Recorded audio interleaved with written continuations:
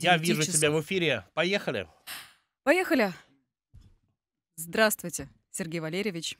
Доброе субботнее утро. Доброе, доброе, да, здравствуйте. Доброе утро, в эфире программа «Линии». У нас э, в гостях глава Крыма Сергей Аксенов. Э, с места в карьер э, вопросов очень много. Э, национальные проекты. Сергей Валерьевич, наверное, уже можно говорить о том, э, что происходило совсем недавно на южном берегу Крыма. Ваша встреча с президентом, какие национальные проекты будут реализованы, э, какие из них будут реализованы в Крыму, сколько получит средств полуостров и что мы э, для Крыма сможем построить на эти деньги? На самом деле у нас э, в рамках нас проектов обсуждаются больше вопросы не строительства, а создания и формирования определенной среды в определенных э, направлениях. При этом нами уже утверждено в рамках национальных проектов 49 региональных программ, всего национальных проектов, в которых будет участвовать Республика Крым 11. В региональные все программы, все проекты уже приняты нами, направлены на согласование федеральное министерство, федеральные органы власти, где до 20 января, соответственно, совместно с коллегами, то есть будут уточнены параметры программы и количество мероприятий, ну и, соответственно, целевые показатели, которые необходимо достигнуть. То есть сегодня вопрос строительства объектов, то есть не стоит, к примеру, то есть как бы по модели там здравоохранения – стоит вопрос обеспечения лекарственными препаратами, бесплатными практически всех категорий граждан. Стоит вопрос обновления оборудования и модернизация системы здравоохранения в Республике Крым. То есть вот покупка и приобретение оборудования в первую очередь, то есть для детских учреждений, поликлиник, больниц, это входит э, в программу. Общий объем программы на сегодняшний день по национальным проектам на территории Республики Крым составляет 78 миллиардов рублей. Опять же, предварительно. предварительно. Это на сколько лет? За сколько на 6 лет? лет до 2024 года. Э, различные целевые показатели в каждом проекте, к примеру, там цифровая экономика, вопрос, конечно, повышения информатизации, а, организация межведомственного документа оборота электронного, то есть э, подача интернета в каждое село Республики Крым, соответственно, увеличение качества доступности государственных услуг, поскольку ну, к сожалению, большому, то есть как бы сегодня, то есть забюрокраченная система, зачастую получить документы своевременно, разрешение, согласование невозможно. Ну и многие должностные лица, к сожалению, пользуются тем, что, к примеру, отсутствует градостроительная документация, то есть как бы есть на что ссылаться как бы для того, чтобы ну, вежливо э, человеку отказать, а иногда и невежливо. Ну и для многих, конечно, граждан превращается в испытание это хождение в органы власти, то есть как бы за тем, чтобы получить от консультации, ну, за справки я уже не говорю, то есть как бы превращается в настоящее испытание. И необходимо понимаю... силу воли и характер проявлять. То есть это недопустимо. Но я к чему говорю? Конечно, поэтому в рамках национальных проектов, то есть там повышение там, качества и доступности образования, по проекту «Экология», по обеспечению 100% населения качественной питьевой водой. К сожалению, в Республике Крым сегодня то есть до 30% населенных пунктов не имеет качественной питьевой воды. Ну, в силу, то есть, как бы уже сложившихся причин, и в том числе действия киевских властей в части перекрытия Северокрымского канала. Вопрос строительства жилья. Там Крым должен будет сдавать там, по 650 э, тысяч э, квадратных метров в год жилья. При этом это не только вопрос э, строительства, это вопрос э, создания инструментов на территории Республики Крым. Доступные ипотечные кредиты, в данном случае э, льготные условия для различных категорий граждан, в первую очередь для молодежи, для специалистов конкретных профессий, которых не хватает сегодня на территории Республики Крым, ну и в общем обеспечение категории населения, это многодетных людей, тех, кто не может в силу уже в силу своих условий. Есть много же людей, которые попали в сложные жизненные ситуации и которые не имеют перспективу приобрести себе жилье. Для этих людей должны быть разработаны отдельные программы, отдельные меры поддержки. Поэтому в данном случае, то есть как бы нас проекты, это, наверное, вот больше даже формирование инструментов для достижения там конкретных целей. При этом, да, вот в программе образования мы сейчас э, просим э, Министерство образования Российской Федерации учесть наши потребности. Нам необходимо построить 7 новых сельских школ. Пока нам согласовывают предварительно только 4. Но вот переговоры у нас сейчас идут. И вот в части вот таких моментов спорных федеральное министерство до 20 января доведут нам повестку дня. При этом, конечно, наше мнение слышат, мы общаемся, обсуждаем с коллегами э, эти параметры, участвуем во всех без исключения процессах. Там проект демография, э, у нас повышение количества Э, рождаемости на территории Республики Крым. При этом меры стимулирования, понятно, это в первую очередь, конечно, доступность, опять же, жилья, то есть как бы эти все программы все взаимосвязаны. Это комплекс, да, это, комп, это комплекс, качества это жизни. комплекс целый мер, то есть, конечно, в проекте демография, то есть как бы в том числе э, здоровый образ жизни, то есть как бы отказ от вредных привычек, там здоровое питание, чего опять же не сделаешь без комплекса мер там по борьбе там с фальсификатом, э, который на сегодняшний день, к сожалению, то есть как бы заполнил наши полки, в том числе торговых сетей. Ну, это касается там, там молочка, мясные продукты. То есть, ну, в данном случае, то есть, э, когда в продуктах э, появляются вещества, которые, ну, в данном случае не являются настоящими составными частями, там, там начиная от мясных изделий, там, и вот молочка, что пальмовое масло, растительные жиры. Понятная ситуация. Если мы будем есть такие продукты, то достижение там среднего возраста жизни, то есть как бы для нас там на территории Республики Крым, ну и не только это, вообще и по стране в среднем, конечно, э, будет достаточно проблематичным. То есть целый комплекс мер, направленных на то, чтобы э, повысить качество жизни в нашей стране, в Российской Федерации. Ну а нам в Крыму, соответственно. Поэтому некоторые параметры еще не согласованы. И сказать сегодня там точно, что вот мы уже двигаемся в таком направлении, то есть еще невозможно. Поэтому в течение января месяца все программы и проекты будут шлифоваться без исключения. Мало того, по их принятию, то есть полностью это все будет э, доступно в публичном поле. Хотим максимально в данном случае до крымчан довести информацию о том, что будет сделано в ближайшее время, в ближайшие годы. Безопасные качественные дороги. Вот по этой программе мы в этом году получим уже миллиард восемьсот миллионов рублей, опять же, на реконструкцию, капитальный ремонт наших крымских дорог. То есть доведение их до 2024 года, там более 40% региональных дорог сети до нормативного состояния. Там э, дороги региональные, для понимания нашими слушателями, это между селами. Это и между селами, и, и дороги межгородские, то есть как бы у нас сегодня вот всего две федеральная, одна, вернее, федеральная трасса, это будет трасса Таврида, которая, кстати, сегодня будет открыто движение по ней. Вот мы буквально после вашего эфира я выезжаю на трассу, мы проезжаем, смотрим. То есть, в принципе, э, все, все службы докладывают о готовности начать движение рабочее по трассе.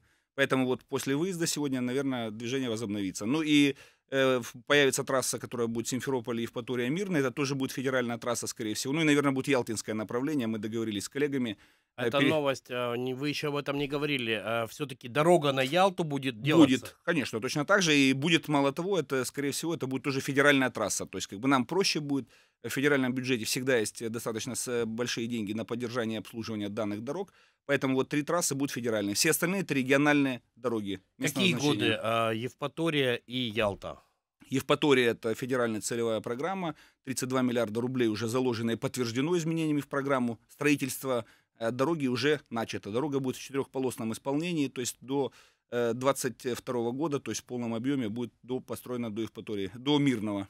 А Ялта? А Ялта уже сейчас рассчитываются параметры. Я позавчера в Москве обсуждал стратегию развития, то есть то, о чем я говорил в плане создания единственного исполнителя работ по ремонту, капитальному ремонту, реконструкции, обслуживанию дорог, будет Крым-Автодор совместно с частной компанией, с одной из крупных игроков, которая уже находится на территории Республики Крым, имеет технику, мобилизовал сюда силы, коллектив э, трудовой в данном случае пойдем по пути э, заключения соглашения с единственным исполнителем. Уже все остальные будут работать на субподряде, но, по крайней мере, генеральный подрядчик, ну, такой как фирма ВАТ, например, ну, это я сейчас не говорю о ВАДе непосредственно, такой как фирма ВАТ, то есть, как бы, который в состоянии обеспечить строительство качественных дорог, ну вот мы как раз сейчас проедем и посмотрим, я уверен, что качество покрытия отличается от того, что делали наши подрядчики, там, в частности, в городе Симферополе. Поэтому пойдем по такому пути. При этом уже договорились о дополнительном финансировании, и вот мы по ремонту дорог непосредственно договорились с министром нашим транспорта. Я проеду 7-8 числа, ну, практически весь город Симферополь. Мы для себя сядем вдвоем, то есть практически с мэром города, с Натальей Федоровной. Проедем, определим первоочередные участки, которые необходимо ремонтировать. Ну, а где вообще строить? В Симферополе, к сожалению, до дорожного строительства руки никогда у властей не доходили, поэтому... Рождества Больш... хорошего у дорожников, которые строили дороги в Симферополе, ремонтировали, может не быть. Вопрос даже не о строителях, а о руководителях, то есть в данном случае тех, кто не смог организовать э, системным образом эту работу. К сожалению, большому качества, ну не то, что его в принципе нет, и я коллегам сказал, что до, до этого вот ситуация была практически такая же. Если я уже говорил, закрытыми глазами проехать этот отрезок дороги, большинство изменений на себе не почувствует. Сергей Валерьевич, э, раз таки о том, что вы говорили, дорожное строительство и э, о входе нового большого подрядчика, который единый подрядчик будет. Получается, мы можем сказать, что в следующем году э, фирмы, у которых там один асфальтоукладчик э, какой-то и 8... Работать не будут. И 8 да. таджиков, они уходят с полуострова. Вопрос не в национальностях, вопрос просто ну, в том, условно, что это, нанят, это, нанятый, это уже стало мемом таким. Нанятый, нанятый персонал в данном случае, который не имеет соответствующей квалификации. Так уходит. или иначе, уходит, конечно. Нет, больше такого не будет. Вот договорились, то есть при этом да, я переговорил с Дмитрием Николаевичем Казаком, вот позавчера мое предложение было поддержано, мы готовим все документы обоснования в правительство, они будут направлены 9 января буквально. Поэтому ожидаем, что качество строительства дорог, ремонта дорог мы в Крыму за 2019 год улучшим. То есть просто систему контроля полностью меняем, то есть заключаем очень жесткие соглашения для тех, технадзоров, повышаем ответственность экспертизы, которая дает заключение на качество проектной документации. Поэтому уверен, что справимся с этой бедой. К сожалению, путь экспериментов то есть, приходится проходить. Пытаемся, то есть в данном случае, соблюдать нормы федерального законодательства, в той части, что по 44-му федеральному закону выигрывают подрядчики. Но, к сожалению, то есть выходя на трассу, то есть э, на дорогу, на объект, э, понимаем, что технологий у них серьезных нет. Там, да, действительно, там пару катков, там несколько самосвалов и один асфальтобетонный завод, еще, как правило, арендуемый у кого-то. Поэтому, ну, в данном случае считаю, что ситуацию сможем изменить. Сергей Валерьевич, вернемся к нацпроектам. А, приоткройте а, тайну. А, Насколько я знаю, э, что если в 2014 году Крым перенимал опыт, то теперь вот на встрече с президентом вот опыт крымского ФЦП, вот реализации и всех новых решений, которые проходили, а, Касаемо стройматериалов, касаемо проектирования, проектных решений теперь у нас будут для реализации нацпроектов перенимать другие регионы, потому что такого бесценного опыта, как у Крыма и Севастополя в стране ни у кого нет по реализации больших вот таких выливаний. Вот мы говорим по Крыму, это 78 миллионов. Э, значит, э, поскольку федеральная целевая программа, э, программа Республики Крым уникальная, уникальна в той части, что все проекты и целевые программы развития регионов принимались на основе готовой проектной документации, которая присутствовала в этих регионах. В Республике Крым же мы начинали с проектирования практически, то есть как бы до нас никогда никто, то есть э, такие задачи в такие сроки не выполнял. Проектирование, то есть в том числе подразумевает, опять же, прохождение целой процедуры, то есть экспертиз, заключений и так далее, то есть как бы это определенное время. Поэтому мы первые, кто шел по этому пути. Ко мне вот в Москве, когда э, проходил госсовет, подходили коллеги, которым предстоит в ряде российских регионов тоже реализовывать федеральные целевые программы, то есть э, те субъекты, которые были недофинансированы в предыдущие периоды. И коллеги тоже, ну так, с опасением говорят, то есть как бы нет кадров подготовленных, в данном случае в регионе, для реализации подобных программ. Сергей Ильич, как вы поступали, там, расскажите, потому что нас, похоже, ожидает там тот же путь. Поэтому, наверное, мы путем экспериментов, испытаний, на что делать, проходили последние четыре с половиной года. Думаю, что из этого будут извлечены уроки, соответствующий, соответствующий положительный опыт будет тиражироваться дальше. Негативный постараемся максимально исключить. Крым поможет другим регионам для реализации вот таких историй. И на федеральном уровне будут приняты с учетом Крыма новые законодательные какие-то акты. Я знаю уже по стройматериалам, по проектированию уже изменения приняты. Изменения принимаются, положительный опыт субъектов тиражируется. И с нами субъекты другие тоже в том числе делятся своими положительными достижениями. Так что обмениваемся э, информацией, помогаем друг другу. Э, Сергей Валерьевич, вы как раз говорили про Госсовет. Э, Президент вас, э, всех губернаторов собирал. Э, какие напутствия э, говорил на следующий год, пожелания, какие задачи поставил президент? Это была последняя, по сути, встреча с губернаторами, такая большая главы государства. Какие задачи поставлены на следующий год?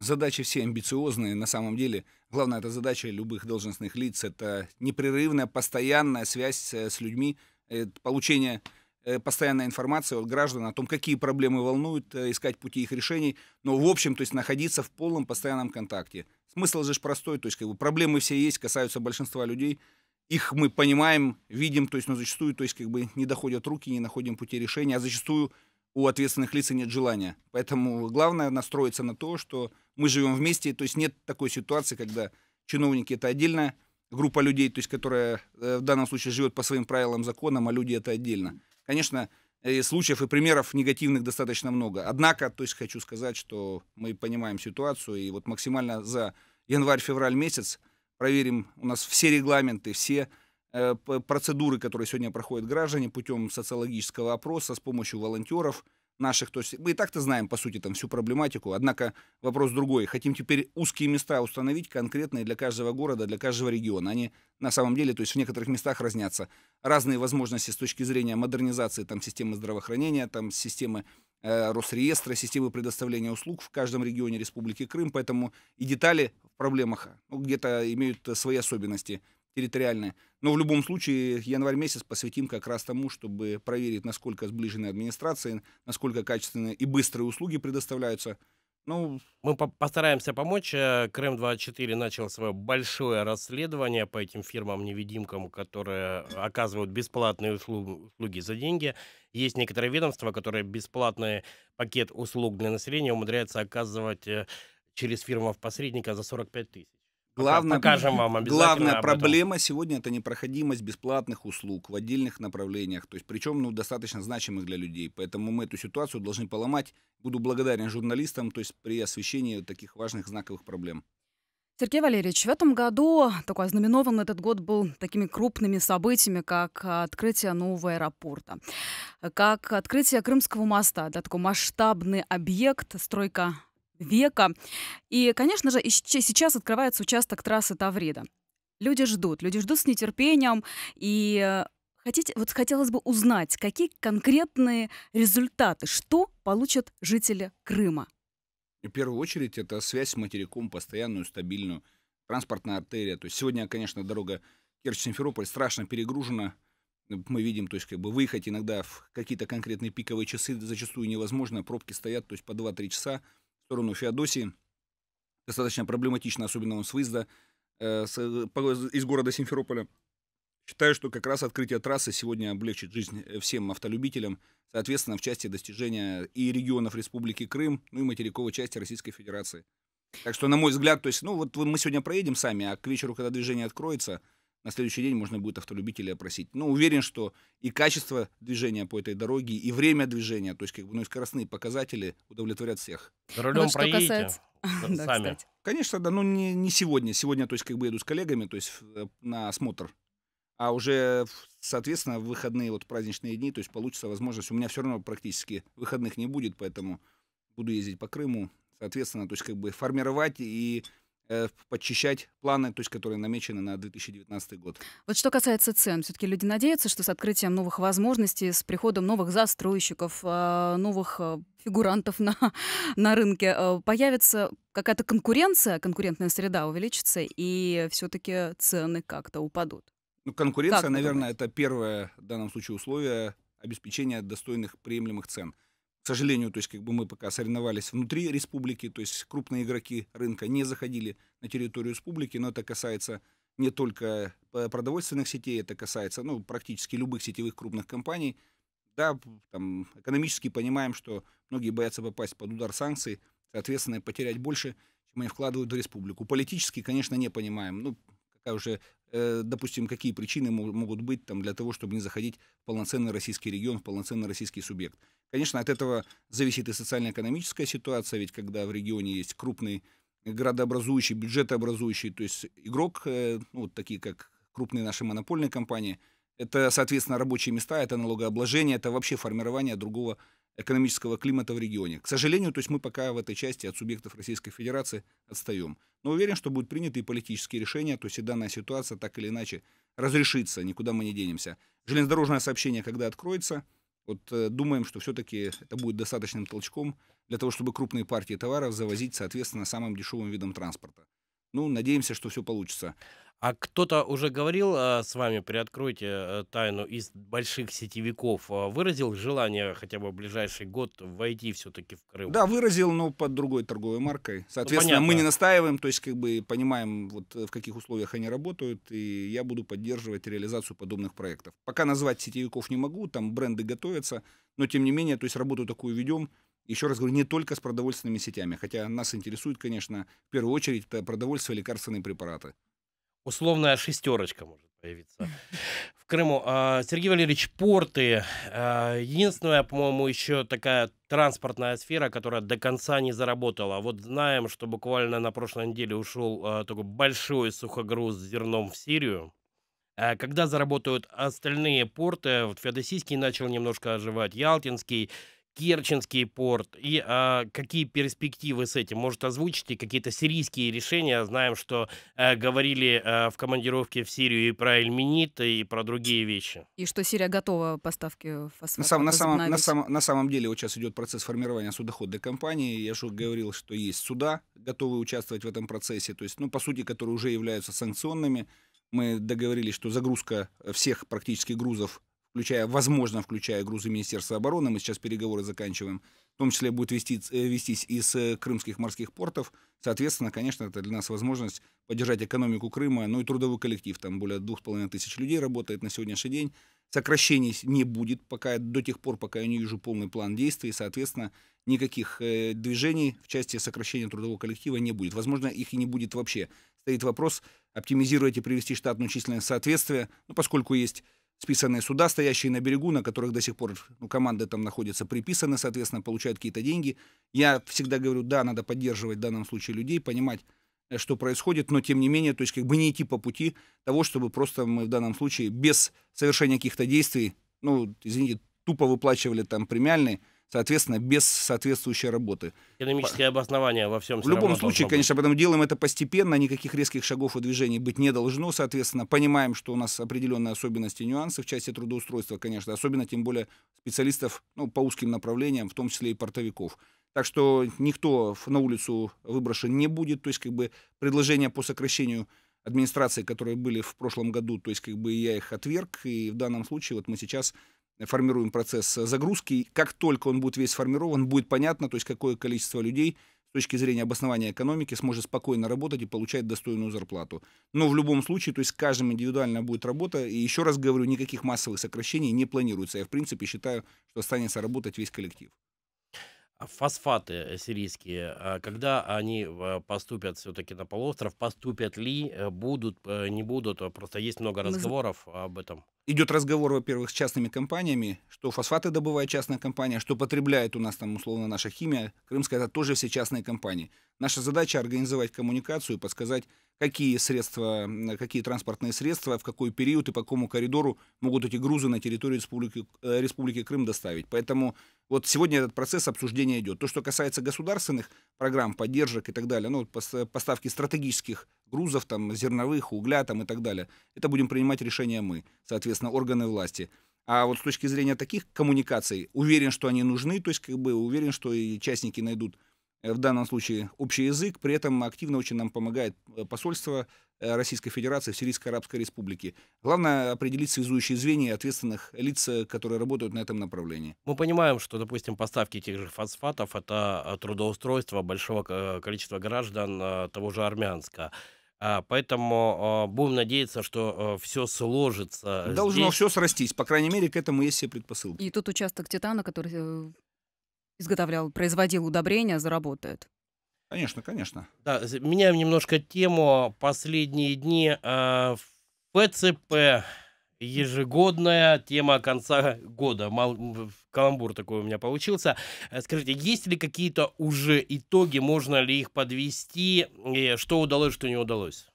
Нет, на самом деле, то есть уровень э, освоения средств и качество мероприятий растет. Однако, конечно, совершенства нам еще достигать и достигать. При этом уже инструменты в части э, того, что создано государственное казначейское предприятие, которое будет непосредственно заниматься это подготовкой проектной документации, подготовкой технических заданий, техническим контролем, то есть аудитом и так далее, оно уже создано. Мы всю структуру контроля внутри перестроили практически на сегодняшний день. Закрепление конкретных людей за конкретными объектами поставлено. То есть на самой первой стадии от начала подготовки документов будет э, конкретно сопровождать один человек. То есть как бы нам проще будет в данном случае искать эти узкие места. И вот коллегам на последних встречах поставлена задача, что ни одна проблема больше трех дней подвешиваться без решения не должна. Если она подвешивается, это уже в данном случае некачественная работа должностных лиц. Это касается только ФЦП или всех это других? практически по всем вопросам. То есть главная эта причина в чем? Отсутствие координации по горизонтали между органами власти. То есть договариваются, да, что берем, выполняем проект, соисполнители присутствуют, и начинается, то есть футболивание из кабинета в кабинет, там документов и так далее. Ну и ссылки. Те не сделали, эти не сделали.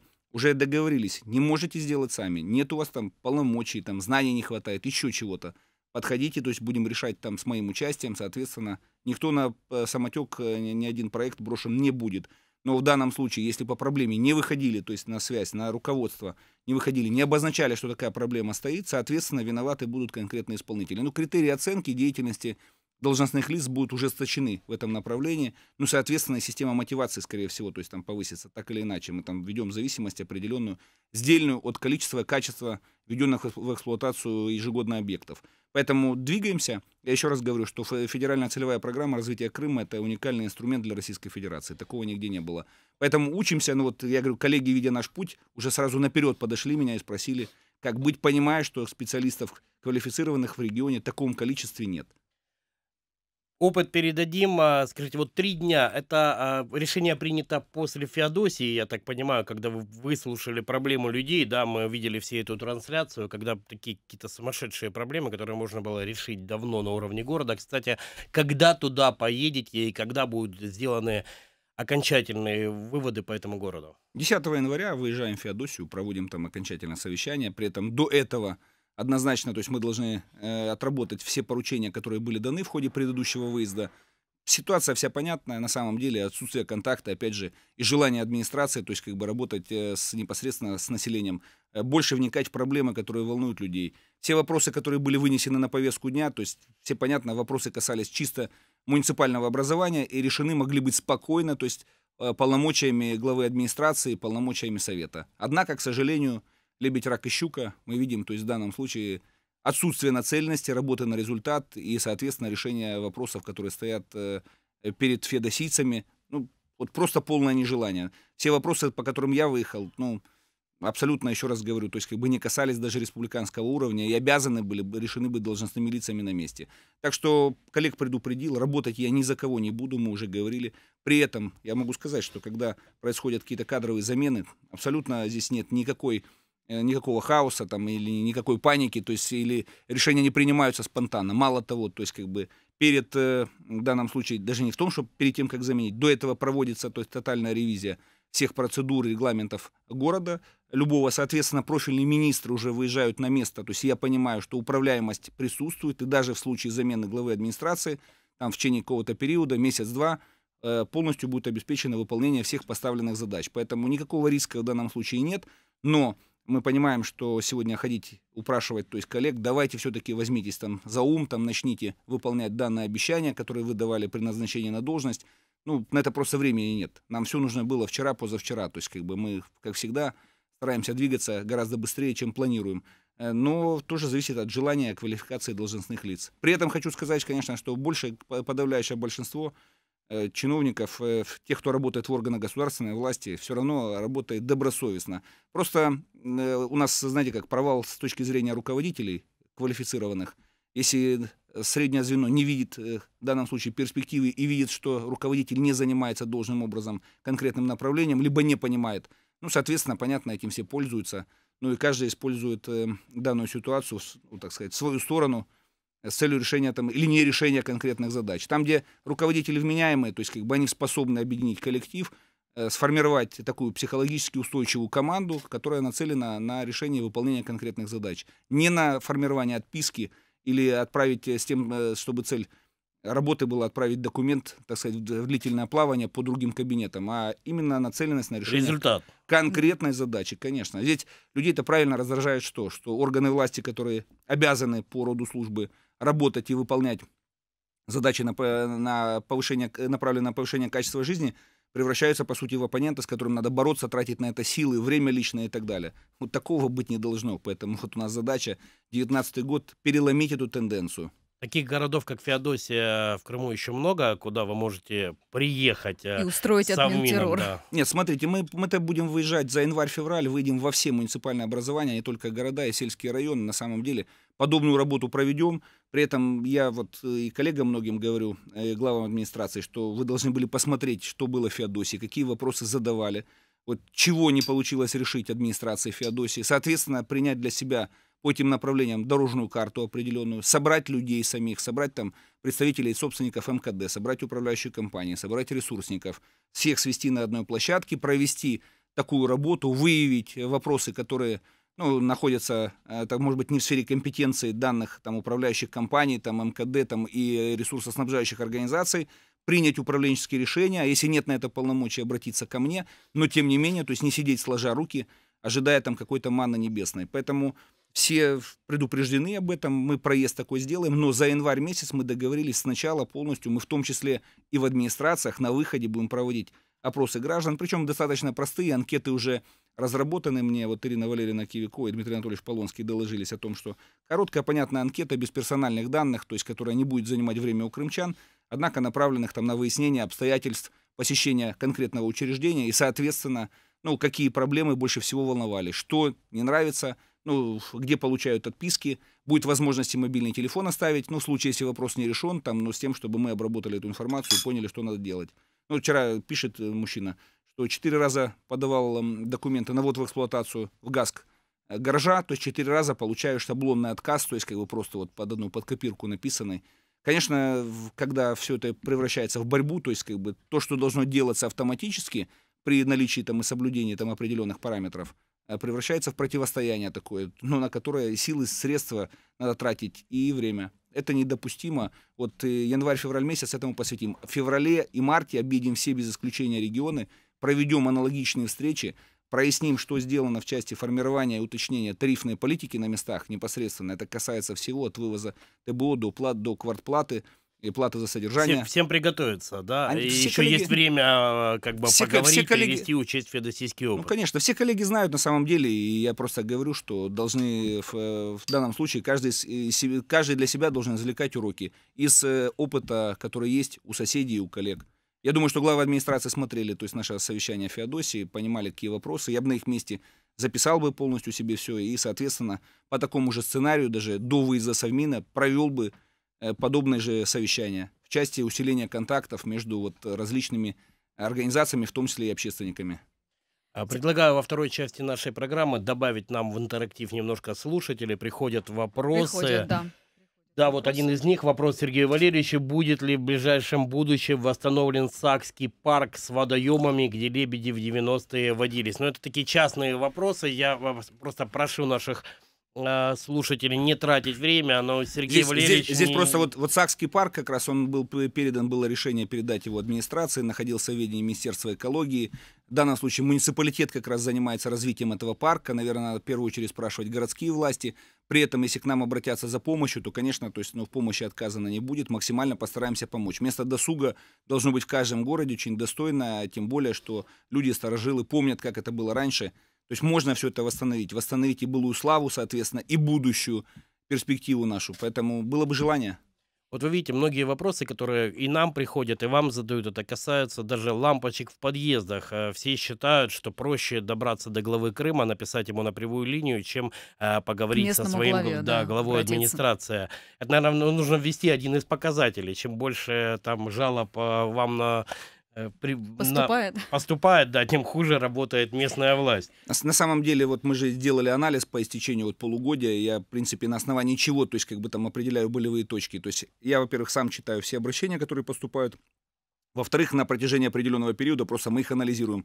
На каком направлении их было больше всего, э, ну, это касается не только муниципалитетов, а и просто направления здравоохранения, там, не знаю, жилищно-коммунальное хозяйство, образование и так далее. То есть, как бы по всем без исключениям стараемся найти максимальный ответ – держать ситуацию на контроле. Однако обращений слишком много, не всегда, в том числе и наши коллеги качественно их отрабатывают. Однако, то есть как бы результативность на этом направлении за последний год повысилась. Ну, у нас существует, то есть правило обратного обзвона, обратной связи с заявителями, ну, с тем, чтобы выяснить, насколько быстро, комфортно была решена или не решена там поставленная задача, которая указывалась в обращении.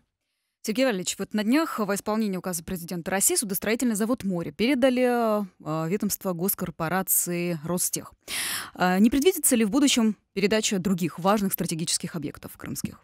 Возможно, причем тут э, нет никакой разницы, то есть на какой федеральный уровень или другим государственным службам предприятия, может быть, даже муниципального уровня будут переданы подобные предприятия, лишь бы, опять же, была понятна цель, для чего это делается и какими средствами, и какими средствами эту цель достичь. Угу. Конечно, то есть поэтому, если только существует крупный партнер на материке, который готов обеспечить в данном случае выполнение такой задачи, и я понимаю, что будет э, сохранены э, или увеличено количество рабочих мест, соответственно, появится реальный налогоплательщик на территории республики, то есть будет передаваться без проблем, то есть данное предприятие. При этом, конечно, в любом случае мы будет, будет полностью поставлен в известность коллектив, мы с профсоюзами поддерживаем активно связь в этом направлении, то есть в любом случае при совершении подобных действий трудовые коллективы должны быть защищены, то есть от возможного воздействия. Крым Телеком миллиард э, республика получила, а новые объекты в следующем году будут? Какие это объекты? И возможно ли э, приватизация в будущем? Не говорим об этом а сейчас, в ближайшем времени Черноморнефтегаза. На самом деле, опять же, все определяется эффективностью и результативностью. Надо просто определиться, э, в каком направлении двигаться, посмотреть те предложения, которые существуют, ну и, соответственно, принимать решения. Все будем руководствоваться в своих действиях только экономическими показателями. Поэтому если экономика будет показывать, что это будет плюс, возможно обсуждение по любым направлениям. Хотя я сторонник того, что все монополисты должны остаться в собственности государства. Там Крымэнерго, Крымгазсети, там Черноморнефтегаз и так далее. Но сегодня экономика такова, что если такие предложения от крупных игроков, у которых существуют определенные ресурсные возможности, которые нам позволят увеличить э, количество объектов, на которых будет произведено бурение, ну и, соответственно, добыча нефти и газа, то, конечно, возможно, там государственно-частное партнерство, скорее всего, вряд ли там вопросы станут с приватизацией, а именно совместная деятельность. В том числе предлагают сейчас использование наших платформ э, на сирийском шельфе. В данном случае обсуждается, то есть там такие вопросы, поэтому у нас же вот техника абсолютно новая, э, которая способна бурить там практически там на любых глубинах. Э, обсуждаем вот совместную деятельность, в том числе и частные крупные игроки, которые в состоянии то есть, дать ресурс, оборотный капитал, то есть для вовлечения нас в процесс. Можно резюмировать так. Если вдруг «Газпром» решит э, поучаствовать в разработке крымских недр, вы возражать не будете? Нет, нет, конечно, только за буду. И э, второе, вы сейчас сказали очень большую новость, что, возможно, наши крымские буровые платформы мы увидим где-нибудь на рейде Латакия. Уже процесс идет, обсуждение, сейчас обсуждаются то есть элементы технологии и так далее. Поступают вопросы из Алушты. А, задам вопрос а, по объездной дороге вокруг Алушты. Когда начнется строительство и, и как она пройдет? И причалы, когда начнется ремонт? Ремонт причалов. Это беда причала, беда При, очень большая. Причалов 290 причалов и пристани по республике Крым, то есть которые были нацелены на обслуживание малого судоходства. Сейчас Минтранс проводит их ревизию окончательно. У нас там первые на ремонт стоят причалы, которые находятся в наших дворцах, это Воронцовский дворец, там, ну и так далее. То есть там, где обслуживается, принимается большое количество туристов. При этом, опять же таки, то есть при этом для ремонта причалов должна идти программа развития, то есть малого судоходства, соответственно. Вот у нас в Севастополь были поставлены кометы, то есть три, которые обкатываются Министерством э, промышленности Российской Федерации. Соответственно, если этот опыт приживется и появятся другие суда такого класса, и необходимость их швартовки в населенных пунктах Республики Крым, под них будут выделяться дальше деньги на ремонт причалов и пристаней. Пока сегодня суда не ходят, то есть как бы тратить деньги или ставить эту задачу как первоочередную, я, конечно, не могу с точки зрения таких вопросов. Сначала По... другую инфраструктуру Понял? починим. Ну, конечно. Сначала, ну, ну, есть же приоритеты, в конце концов. И если у нас нет судов, которые пристают к данному причалу, то, конечно, и вкладывать сегодня прямо деньги никакой необходимости и целесообразности нет. Однако в городах, как инфраструктуру, как часть инфраструктуры, несомненно, их надо привести э, в соответствие для того, чтобы туристы ну, увидели, что это не разрушается, а объект поддерживается достойном нормативном состоянии. По строительству дороги э, в Алуште, в планы сейчас все корректируются, обсуждается, и у нас, в принципе, уже есть деньги зарезервированы на строительство, даже не строительство, а реконструкция или капитальный ремонт дороги. Это Суда-Калушта, Соответственно, это которая... Одна вот, из самых красивых крымских Одна из дорог. самых красивых дорог, да. Более трех миллиардов рублей будет выделено из федерального бюджета на ремонт этой дороги. Это в каком году? Мы сейчас вот готовим проектную документацию буквально. Как только пройдут экспертизы заключения, соответственно, документы будут поданы для включения в программу. Но уже решение политическое, согласованное с федеральными властями, уже принято в этом направлении. Поэтому сейчас идет разработка технической документации. Не могу сказать, то есть, как будет формироваться, то есть, как бы обход, в каком формате, поскольку еще геология, геодезия не проведена, от рельефа местности, ну и, соответственно, от исследований, то есть, будет зависеть, то есть, как бы, как эта трасса пройдет. Но в любом случае, то есть, как бы мы договорились, что нацеливаемся на ремонт по общим трассы, то есть как бы Симферополь-Ялта. И еще раз говорю, скорее всего, вся трасса, она будет до Севастополя, и мы предварительно с Минтрансом России это обсуждали, будет передана, ну, это будет федеральная трасса. А все федеральные трассы будут, это уже будет не местного значения, а федеральная, федеральная трасса. И федеральное финансирование. Федеральное финансирование, соответственно, федеральные службы будут отвечать за ремонт и поддержание их в нормативном состоянии. Меняем тему. А, коррупция. Вы говорили, э, что продолжаете заниматься чиновниками, что будут новые уголовные дела, новые расследования. Что-то уже можете озвучить? На самом деле нет, это оперативная работа. Она идет, и могу сказать, то есть, как бы, что есть движение, есть понимание. То есть не всех опыт своих коллег учит в данном случае соблюдать не помогает, законодательство. Да? да, и в некоторых случаях до смеха доходит когда опять э, приходят предприниматели или приходят, ну, вот люди просто, даже не предприниматели, рассказывают о том, как с них вымогают и так далее, ну, такое ощущение, вот знаете, как что ни телевизор не смотрят, то есть как бы чувство страха отсутствует, или есть убежденность в том, что наказания не последуют. Ну, не знаю, что в голове у этих людей. Однако, думаю, что в большинстве случаев мы сможем добиться результатов, несмотря на то, что, конечно, да, есть проблемы. Не все расследования идут гладко, не все идут быстро. Там не везде получается в данном случае установить быстро виновных лиц, ну и, как правило, компенсировать ущерб, который нанесен бюджету или конкретным гражданам. Но, тем не менее, могу сказать, что работа очень жестко на этом направлении будет продолжена. Все руководители силовых структур меня поддерживают в этом направлении. Мы с коллегами здесь в одной лодке находимся. Да, понимаем, что тоже есть э, вопросы, связанные с тем, что бывает некачественно работают, то есть там отделы ну, городские, республиканские и так далее. То есть не все то есть, в состоянии быстро выполнять поставленные задачи. Но О каких раз суммах говорю, речь идет? Сейчас я не стал бы даже суммы называть зачастую, то есть предварительно это же приходят э, люди, то есть как бы делают там предварительно условно э, заявление, то есть в котором там указывают, что с них вымогают там такую-то сумму. В дальнейшем там многие вещи там корректируются, кому-то аванс придают и уже перед этим задерживают. Но это вопросы касаются, в общем, оперативной деятельности. Я думаю, что сейчас мы не будем по а раскрывать не будем. обсуждать детали. Я гарантирую, что результаты вот как раз этих расследований будут в публичном доступе. То есть по всем персонажам информация будет находиться в СМИ, и с каждым может сделать вывод, э, насколько правильно и быстро сработали и органы власти, и силовики вы всегда берете ответственность за всех людей в своей команде, а потом а, вдруг что-то происходит и... Э, подводят. Э, да, подводят. Человек э, попадается на взятки или что-то еще. Что вы чувствуете в этот момент?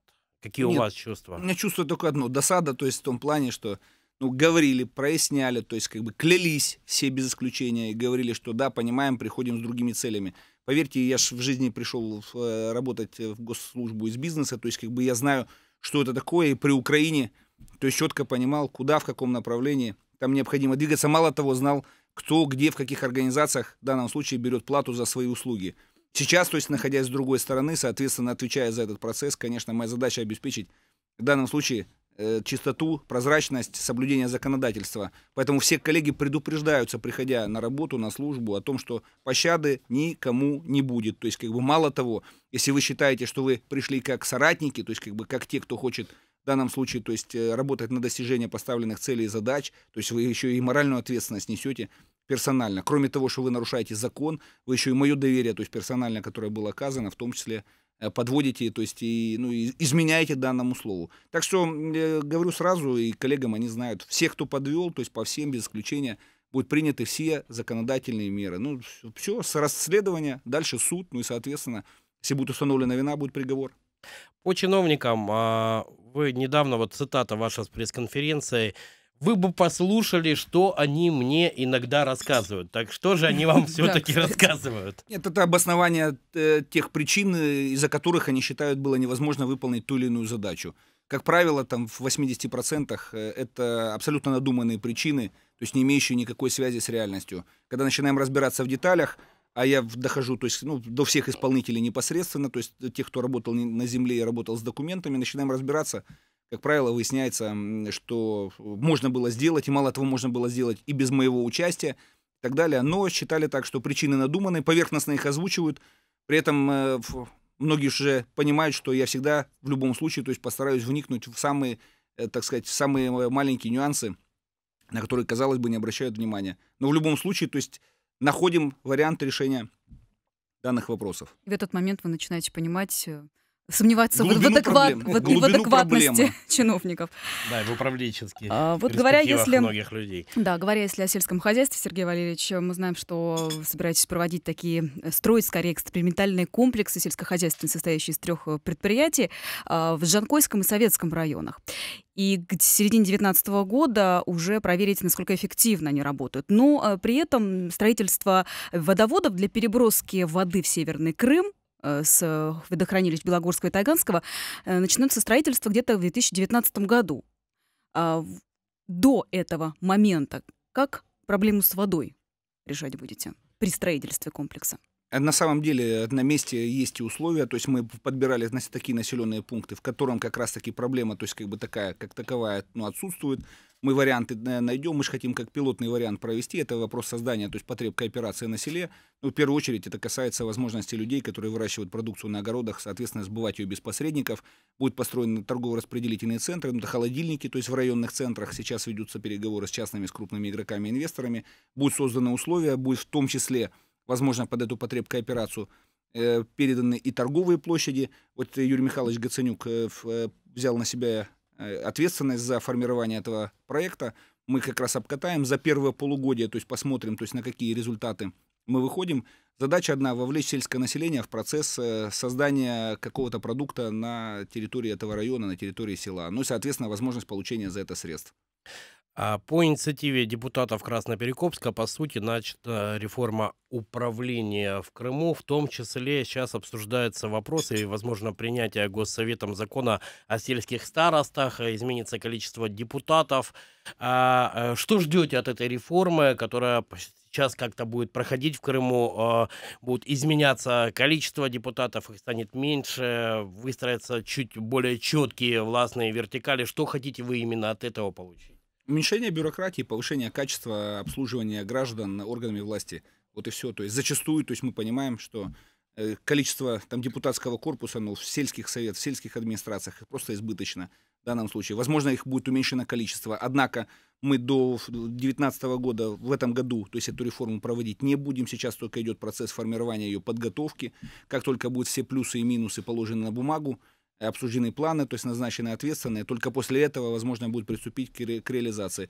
Э, в любом случае, это будет экономически обоснованно и эффективно. Это цель только э, улучшение управления, только да? Улучшение, только улучшение управления, соответственно, сокращение там количества должностных лиц, на которых несет расходы государства. Соответственно, ну, в большей части, вот мы же видим, что с, э, работа зачастую, то есть как бы депутатского корпуса превращается ну, в статистическую в определенную, вот и все. Поэтому смысл в данном случае содержать, там, расходовать деньги там, и так далее, то есть как бы э, при том, что есть э, другие цели, на которые эти деньги можно потратить, но точно не на содержание там аппарата.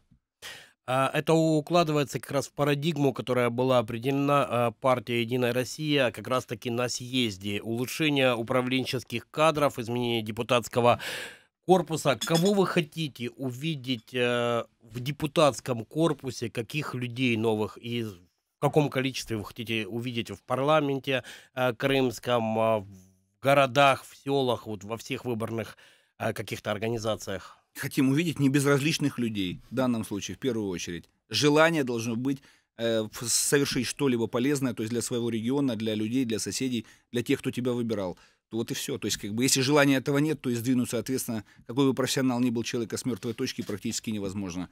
Поэтому вот будем исходить из того, что в первую очередь это должны быть и профессионально подготовленные, подготовленные люди, то есть мы хотим по направлениям сесть и проговорить. То есть каждую категорию, там, в том числе медицинских работников должен представлять там заслуженный врач, там, образование должны представлять люди из среды, которые знают проблематику, у которых есть связь непосредственно с теми, кто работает в поле, кто работает э, непосредственно в учреждениях образования, здравоохранения, ну и так далее, то есть неважно. То есть должен быть сформирован э, депутатский корпус, в том числе и по профессиональному подходу. При этом, конечно, будут оцениваться те, эм, э, те результаты работы, которые есть сегодня, не все далеко депутаты сидят сложа руки, то есть очень большое количество тех, кто работает реально, работает на своего избирателя.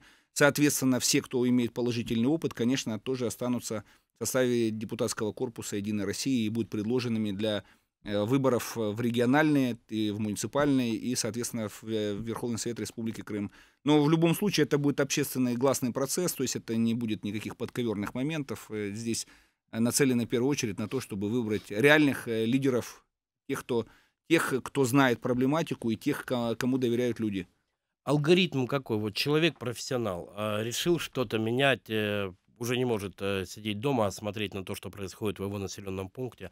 Куда должен идти, как заявить куда о обращаться, себе, да? как заявить о себе, если он хочет реально работать, помогать своему селу, своему городу, своему району? Партия «Единая Россия» имеет ячейки сегодня во всех регионах Республики Крым, то есть практически до, практически до каждого села, то есть мы дошли. Поэтому в, а, есть понимание и известные люди, с которыми необходимо общаться на местах, обращайтесь в приемные э, организации «Единой России», по Республике Крым, соответственно, те, кто имеет желание поучаствовать в избирательной кампании, хочет проявить себя. Будем благодарны таким людям, и на самом деле мой подход простой всегда. Хочется помогать тем, кто сам двигается вперед, у кого горят глаза, у кого есть желание, а не тем, кто инертно сидит, ожидая там, пока начальство, то есть как бы придаст ускорение тем или иным способом. Социальные лифты открыты в Крыму, получается? Несомненно, такие, ну, они, понятно, мы сейчас можно говорить там о качестве, понятно, не везде, то есть это получается быстро, однако мы с Владимиром Андреевичем Константиновым договорились, что эту работу будем держать персонально под контролем, соответственно, пытаться выявлять вот тех людей, ну, вот у них сразу там вот видны определенные результаты, приезжаешь в регион,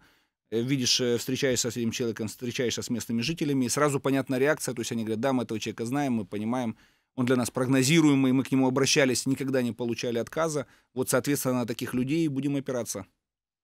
Поговорим о 100-метровой прибрежной зоне. Был ажиотаж. А сейчас дело как-то остановилось, и причем люди не просто не перестали не перестали строить, а наоборот продолжают строить на пирсах, особенно на южном берегу Крыма. Вот как с этим? Когда вот увидим массовые дела? сносы, тоже сносы, люди да, спрашивают. На, на, на самом деле же вы же понимаете, что в том числе и ротации в Министерстве строительства и архитектуры, это в том числе вопросы, связанные с неудовлетворительной, некачественной работой на этом направлении. К сожалению, то есть как бы решить системно эту задачу не получилось. Списки, которые выверялись в данном случае, то есть подвергались там э, корректировке там на протяжении там всего периода, пока они поступали там вот непосредственно уже в Совет Министров. Мало того, когда я в конечном варианте то есть отсматривал эти списки, как всегда, то есть как бы начинались там чудеса. То есть видим, что объекты коммерческие, которые находятся на видных публичных местах, были из списков исключены, каким-то образом не попали. Соответственно, а объекты, ну там такие как э, не знаю, балконы пристроены там ну, где-то в многоквартирных домах, или там в частном секторе, в, в индивидуальном жилом строительстве, не знаю, кто-то баню у себя на шестисотках построил. Ну, то есть то, что не вызывает раздражения у соседей, то есть там, где нет э, нарушения интересов третьих лиц, соответственно, и где можно было не обращать внимания в данном случае на эти проблемы, однако их Включены упорно... в список. Ну, конечно, но бороться это проще с простыми гражданами, чем, там, допустим, с кем-то состоятельными. Поэтому Вы зачастую... Говорите каким-то образом взятки заносили местным властям? Я же не готов сказать, я не видел. Сейчас же ну, как... хоть как вы это оцениваете? Но я понимаю, Оцениваю что... как минимум некомпетентность, в данном случае нежелание выйти в поле и самостоятельно убедиться в том, какая необходимость была на включение того или иного объекта в список. Вот и все. Поскольку там, где главы администрации этим не занимались лично, ну, то есть не выезжали то есть на места, соответственно, там и нет результата. В некоторых случаях, вот мы сейчас результатов достигаем, ну вот сейчас решение по Кубу наступило в силу, мы его снесем буквально там после Нового года. То есть, после ну, Нового года, еще раз остановлю вас, Сергей Валерьевич, извините, после Нового года в январе. Ну, мы сейчас там процедура просто должна пройти и все. Но, соответственно, уже Куба не будет, суде, судебное решение уже есть это в, в высшей инстанции кассационной. В Калуге арбитражный суд такое решение принял э, именно в интересах э, органов власти Республики Крым. А когда вы для себя вот поставили э, дату начала сноса в условном Коктебеле, где эти все шалманы мешают снести, э, мешают построить новую набережную, да, сделать новые кластеры в других городах. Когда время Че? Вот 9 января перед выездом в Феодосию, 10 выезжаем. Как раз в том числе будет заслушана стратегия действий по Коктебелю. К сожалению, вот последнее совещание, которое опять же было э, уже с участием федеральных заместителей министров, э, показало, что работа на этом направлении двигалась слабо администрация Феодосии там рассказывает о том, что там каждую неделю проводили совещания, там и встречи с общественностью, однако это длится уже четвертый или пятый месяц. Там, я так понимаю, что владельцы там 20 киосков, часть, э, ну, значительная часть из которых это либо должностные лица, либо депутатский корпус, соответственно, там оказывают там сопротивление какое-то, воли, наверное, у властей Феодосии, то есть на решение, на реализацию этой задачи, наверное, не было, но я просто вижу по результатам, исходя из этого, предупрежден вот сейчас Волченко э, Вадим Александрович о том, что он, поскольку курирует этот проект, что он должен внести конкретные предложения, конкретные сроки должны быть у этих мероприятий обозначены. Поэтому вот процесс формирования набережной же иначе Коктебеля просто будет невозможен в силу определенных причин. Поэтому 9 рабочая группа пройдет по итогам, то есть полностью всех проинформируем, в том числе будут и даты, когда приступят к определенным процедурам зачистки, создания условий для начала строительных работ. Ну, это ближайшая перспектива. Это прямо вот, это, нет, это вот прямо мы в январе месяце формируем позицию, к лету должны, мы к сезону, в принципе, вот с НТО и со всеми вот такими объектами, которые находятся на набережных, должны навести порядок во всех регионах. И э, будут большие сносы на весну. Мы сейчас планируем, формируем позицию. Опять же таки, каждый проект подходит, каждому проекту подходим индивидуально. Э, для этого, вот еще раз, в Минстрое сейчас создана рабочая группа. Кабанов Евгений Константинович, по сути, вот вице-премьер, лично занимается этими вопросами. У меня вчера был, я ему говорю, делегируйте, то есть как бы в данном случае свои полномочия там, министру, который должен персонально за это отвечать. Он говорит, я пока вопросы, связанные с незаконным строительством, практически лично вникаю сам. Ну, у нас сейчас вопросы дольщиков идут. Это обеспечение э, прав людей, которые были обмануты э, В Ялте, в застройщиками. Ялте очень в первую очередь, в первую людей, очередь да. в Ялте на начальном этапе. К большому сожалению, э, появилось достаточно большое количество мошенников. При этом схемы мы видим, что пришли к нам с материка, в данном случае вот Краснодарский край, то есть ряд представителей начали на ИЖСах застраивать многоквартирными домами, соответственно, продавать людям квартиры, не понимая, как они ведут эти объекты в эксплуатацию. Мы вчера говорили с Олегом Анатольевичем Камшиловым, с прокурором республики. Жесткая будет оценка прокуратуры в отношении тех, кто обманул граждан 100%. А задача у нас органов власти найти варианты, как ввести в эксплуатацию эти дома. Соответственно, в первую очередь, опять же, если не нарушены интересы третьих лиц, если соблюдены нормы, связанные с безопасностью. На Новый год куда поедете? У нас остается там буквально 14 минут. Где будете праздновать? Как, а, как Порошенко на Мальдиве, не, на Мальдивы не полетите? Нет, нет, точно не, У нет. нас есть крымские Мальдивы. Порошенко свои, видите, у него свои принципы, там, свои привычки, там, поэтому пусть летает на Мальдивы. Э, ну, как раз его, наверное, за это время переизберут. Э, Нет, да я дома буду находиться, конечно, там никуда не собираюсь, да и времени там на самом деле нет, и за этот отпуск предстоит решить там очень много задач, как раз вот такое время, когда будет появится возможность мне, так сказать, покататься по проблемным местам, по проблемным объектам.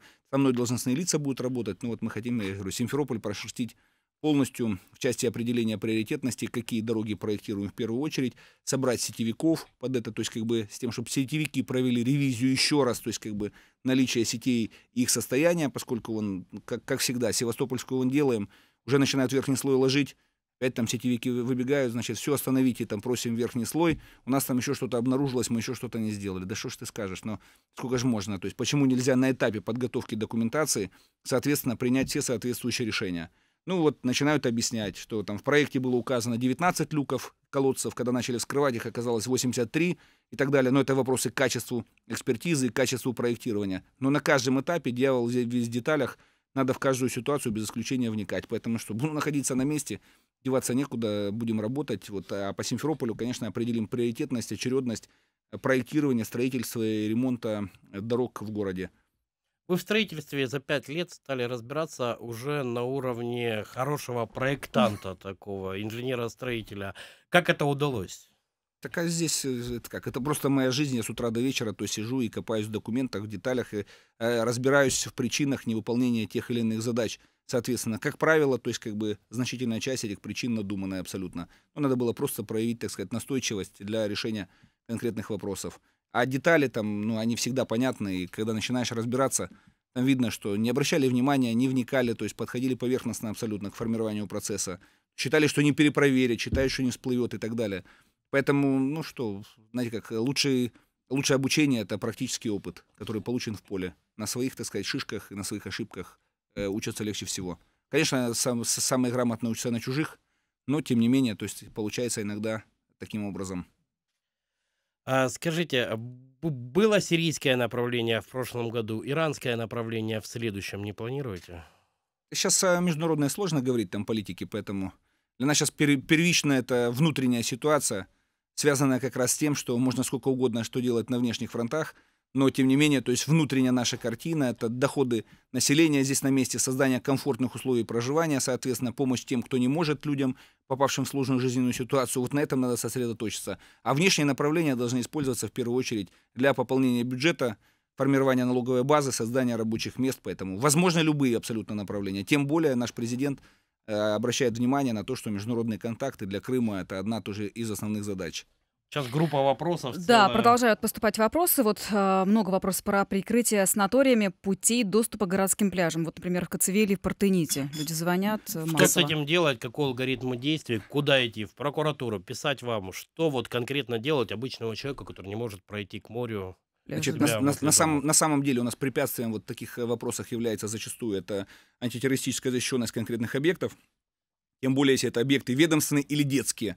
По детским объектам очень жесткая ситуация, очень жесткий пропускной режим. Соответственно, вот сейчас мы, ну, в Коцевеле там нет сейчас такой проблемы, там будет наложен сервитут вот буквально, то есть как бы до, до конца первого квартала, там до 1 апреля. Городские власти эту ситуацию знают, Эти вопросы в том числе обсуждены и с научными организациями, то есть как бы с частными собственниками, которые там находятся. Поэтому там будет сервитут проложен к морю, доступность к набережной будет обеспечена к началу сезона, никаких проблем не будет. При этом э, ведомственные санатории, конечно, с ними проблематичнее, однако практически со всеми достигаем соглашения, что по паспортам пускают всех местных жителей, пускают бесплатно, везде, да, с туристами, то есть как бы есть определенные проблемы. Но опять же, такие вот, то, что касается детских лечебных пляжей, наверное, здесь никаких послаблений не будет. Все-таки есть ограничения, и они должны быть э, соблюдены, но при этом информация о том, что это пляж детский или лечебный, должна быть доведена, все ее должны знать и так далее. Что касается военных или закрытых, ну, там, с, с закрытых объектов, в том числе принадлежащих различным спецслужбам и так далее. То есть, как бы на них, конечно, тоже да, будет организовываться режим. Но при этом задача администрации оценить на месте, то есть как бы наличие пляжных зон, необходимых и достаточных для того, чтобы люди э, в данном случае могли отдыхать и купаться. То есть как бы такие, такой анализ сделан практически везде. Вот сейчас мы в этом году приступим к формированию проектированию набережной Гурзуфа, то есть достигнуто соглашение, что будет выделено более 3 миллиардов рублей на строительство этой набережной полностью, это берегоукрепления, пляжные зоны и так далее. То есть э, вот формирование комфортной среды. Без этого, без обратной, опять же, связи, то есть ничего не будет. Но в любом случае, граждан просим, обращайтесь в данном случае на социальные сети, на мои страницы в социальных сетях. Мы вам передадим все вопросы. На которые... мои страницы будем индивидуально подходить и разбираться. Зачастую бывает недопонимание, то есть как бы и между руководителями учреждений, я имею в виду, которые оказывают э, услуги э, в курортной сфере, э, администрациями, но и местными жителями. То есть, но при этом мы опять же таки действуем исключительно в интересах местных жителей. Вопросы, целый блок вопросов касается освещения в городах и селах Крыма. Вы уже говорили на пресс-конференции, что проблема Симферополь будет первый, решена. Симферополь первый начинаем в На этом очереди, году. да? В январе вот должны подписать соглашение. Сейчас параметры буквально находятся в стадии обсуждения. То есть э, главная э, задача и, наверное, главное условие это с тем, чтобы инвестор, который зайдет, сделал это за частные деньги на условиях концессии. Такой, такой процесс уже начат, поэтому ожидаем его. На, на примере Симферополя эту модель сформируем в дальнейшем, то есть как бы начинаем привлекать деньги. Э, Ресурс э, в бюджете, то есть Республики Крым сегодня пока не заложен, то есть в полном объеме, но предполагаем, что концессионер вот сможет приступить к работе уже в марте месяце этого года в городе Симферополе. Задача 100% полностью обеспечить освещение э, всех улиц города, всех там 1100 там э, с копейками улиц. Многие люди пишут э, из разных населенных пунктов, Сергей Валерьевич, когда к нам проведут газ, подтянут дороги. И просто я хочу сказать этим людям, но вы обратитесь к своим главам, чтобы они как сделали, как было положено, как положено, подали заявки. Главы должны представить, конечно, в первую очередь представить свои предложения, то есть как бы по ремонтам и так далее. Мало того, администрациям э, поставлена задача, что если вы считаете, что данный участок у вас приоритетный, делайте сами проектную документацию, изготовьте, и с наличием проекта, прошедшего и полу- получившего положительное согласование экспертизы, соответственно, обращайтесь в республиканские органы власти, на строительно-монтажные работы мы поможем финансами. У нас такой же принцип взаимоотношения с федеральными властями. Республика делает проекты, там, где идет э, совместное финансирование, а федеральный бюджет выделяет, то есть как бы деньги на строительство. Вот, условно говоря, по нас проектам из 78 миллиардов рублей, которые заложены, 12 это республиканский бюджет будет, так или иначе. То есть поэтому мы везде идем в режиме софинансирования. Так что администрациям просто надо на это обратить внимание. В любом случае, я прошу вас по итогам эфира все равно все, все обращения, то есть как бы в том Мы числе... вам все передадим. Все, все передадим. Я не обещаю, что завтра все эти вопросы будут решены. Однако плановость определенная, подход определенный. И после того, как я, не после, а во время того, как я приеду в данный регион, я обязательно, то есть вот конкретные населенные пункты просмотрю. Но э, говорю сразу, конечно, Вот Донское, э, Симферопольского район как раз нам написали. Но э, скажите, алгоритм Да. по, действий... по Донскому у меня вчера тоже были обращения, в том числе и по, дорожному, Мгм. по, по до- дорожному строительству. К сожалению, то есть во многих э, населенных пунктах их уже в принципе нет этих дорог, то есть как бы и поэтому сейчас задача приоритетно составить. Нам добавят денег из федерального бюджета. Уже вот я в правительстве с Дмитрием Николаевичем этот вопрос проговорил. Мы заявление, то есть как бы дополнительно сейчас на потребность в финансах написали. Как только вот сейчас будут в январе месяце полностью приняты работы или не приняты, ну поставлена точка, то есть как бы по тем деньгам, которые выделялись в 2018 году, будет сразу принято решение о дальнейшем финансировании. При этом, я же говорю, главное сейчас определить приоритетность, правильность. Вот здесь совсем нет дороги, и там вообще, ну, как говорится, конец на самом деле, то есть нормальной жизни, потому что не скоро не может подъехать, ни дети в школу не могут пройти. Там, конечно, это надо делать в первую очередь. Да, Но- мы снимали недавно но- сюжет э, по Белогорскому району, там мост упал пять лет назад, и пол села даже скорая не может проехать. Вот такие, наверное, решения должны быть И первоочередные. опять же, администрации, то есть как бы знают на месте, что горит, да, что на самом деле вызывает у людей наибольшее раздражение вот в конкретном регионе. То есть и должны на этом концентрироваться. Но в большинстве своем, э, я думаю, что мы вот такие вопросы острые, то есть как бы сможем своевременно снимать. Поэтому прошу, то есть и дальше обращаться, то есть на социальные сети. Ни одно обращение без внимания не Да, останется. обращаются, потому что к администрации 4 года вот ничего не меняется. А вот по я, Донскому. вот я попрошу, и мы как раз вот в анализ, который будем делать в январе, то есть по количеству обращений, Мгм. сколько раз обращались, и хочу оценить потом реакцию администрации. Все понятно, просто что, да, может быть, не все успевают, но тем не менее, там, где действительно провалился мост, там, где существует аварийность, там, где людям необходимо делать большой крюк, чтобы объехать, то есть должны эти вопросы ставиться во главу угла, соответственно, и на них нужно настаивать и ходить защищать свой регион, свой район для того, чтобы получить средства на выполнение этих задач. Сергей Валерьевич, наверное, вот вы единственный, скорее всего, я думаю, что единственный глава субъекта Российской Федерации, а, во время правления которого, благодаря вашим усилиям, вашей команды, главы государства, а, выпали и произошли такие грандиозные события, такие масштабные стройки, объекты построены. А, Развитие международных дипломатических отношений тоже пик пришелся, вот особенно на этот год. Такой прорывной год оказался 2018. Э, Насколько прорывным, как вы думаете, будет 2019 предстоящий? Ну, на самом деле, я же говорю, прорывы должны сделать на внутреннем фронте, на нашем. Вот как бы еще раз, качество жизни и с тем, чтобы дойти до каждого человека, то есть вот это основная задача. Я еще раз, органы власти должны быть в помощь, помощь, а не в противоборстве находиться с людьми. Вот как только мы этого добьемся, как только будет понятно, что человек, обратившись в органы власти, получит качественный ответ, мало того, в его проблему вникнут, не все можно решить, говорю сразу. То есть как бы не все вопросы даже у меня получается решить. А Иногда отсутствие нормативной базы, иногда просто отсутствие ресурса, а иногда это просто ну, ни под каким соусом экономически необоснованно, даже обосновать сложно. Бывает, бывают вопросы, связанные с тем, что вот люди приходят, понимая абсолютно ситуацию, два дома в селе находятся на отшибе, и до них надо тянуть дорогу, ну, там прилично, там, более там километра и так далее. То есть, как бы сели, посчитали, более 100 миллионов, чтобы сделать там такой отрезок дороги. Ну, проще тогда людям купить нам дома, там, так сказать, или квартиры, то есть и переселить с такого места, допустим, чем тянуть там э, инфраструктуру, поскольку никак не обоснуешь, и мало того, в приоритетность не поставишь, то есть такие вопросы. Поэтому, конечно, ну, вот, э, в данном случае приходится отказывать, но садимся, объясняем ситуацию, формируем опять-таки там очередность определенную, вникаем в детали, ищем способ решить вопрос. Поэтому думаю, что вот как раз вопросы сближения с людьми, то есть сегодня и вот вопросы комфортного взаимодействия с органами власти основная задача на вот 2019 год. Все остальное, поверьте, выстроится, и людям спасибо, они нас понимают, слышат, мало того, многое терпят, но в то же время, то есть как бы, и я считаю это справедливо, конечно, не настроены тратить все свое время на борьбу, на достижение там каких-то там э, справедливых для себя, то есть как бы там результатов. Ну что это такое, если там обращаются, один и тот же ответ по шаблону получают, ну по 3 по 4 года, то есть ничего не могут сделать. Не получается ли у органов власти, если нет возможности, встретитесь с людьми, объясните, что при принятии следующих нормативных актов, соответственно, возможно будет решить вас, ваш вопрос, не надо ходить каждый день, вот вам конкретная дата, приходите тогда-то, закон будет принят, и сразу мы сможем реализовать те э, вопросы, которые вы ставите в своем обращении. Но не гонять людей туда-сюда, придите позже, придите послезавтра, может быть, потом опять позвоните или не позвоните и так далее. То есть и все это превращается в пытку. У людей нет документов, не могут дальше строить, делать, оформлять там, ну и, в общем, за- заниматься своей нормальной жизнью. Сергей Валерьевич, последняя, буквально полторы минуты осталось. Есть возможность поздравить весь Крым в прямом эфире с Новым годом. На самом деле хочется крымчанам сказать в первую очередь спасибо за понимание.